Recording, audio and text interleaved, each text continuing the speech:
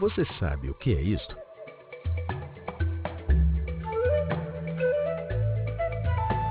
Essas coisas são feitas com sementes de açaí. O açaí é uma importante fruta da Amazônia. É usada para fazer suco, picolés, sorvetes, cremes e até artesanato.